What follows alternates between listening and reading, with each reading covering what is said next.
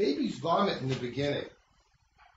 That doesn't mean every bite baby has to be worked up. Some get occasional vomiting. They don't all have to be treated for reflux. Is that true? The uh, the normal amount of vomiting in a four to five month old is five times a day.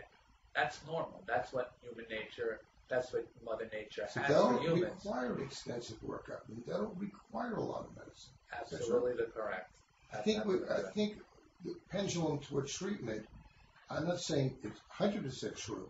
We may be overtreating a lot of babies, a lot of medicine, but it has to be a good history, a good evaluation, and very good selection. So we target the kids who really need the medicine.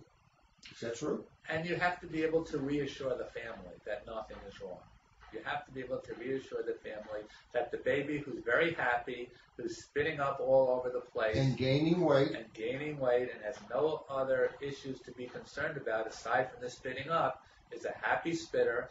And by giving medicine, in fact, you're not making that baby any happier, and you are not making that baby any healthier, and you are not making that baby stop spitting any faster. and people should realize there is a thing called fussy periods where babies do cry, sometimes for an hour or two in the evening, not during the day. That's considered relatively normal. It doesn't always need a lot of medicine to treat that kind of condition. Is that true? That's called colic, and that actually is found in 15% of the infants of the world. Uh, the moms who strap the babies on day two of life and go into the fields in deepest Africa have 15%.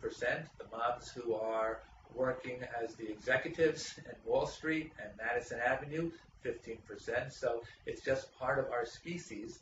And in fact, it does bear some resemblance to the irritable bowel because as a consequence of excessive gas, there's distension, and there are receptors, there are signalers on the outside of the intestinal tract, and when they get ex- uh, excited, they give the sensation of pain. The difference is that after three years, sorry, excuse me, after three months, there's a maturation process that takes place in the intestinal tract so that the amount of gas that's uh, generated, the amount of distension that takes place is dramatically decreased. And so that's why colic itself will resolve at the end of the three months. So if you wait long enough, as most of the cases, Mother Nature does a pretty good job and gets better. no doubt about it. And not without a lot of medicine. So That is absolutely correct. basic rule. There's no side effect any drug we don't use. That's just say to say is true.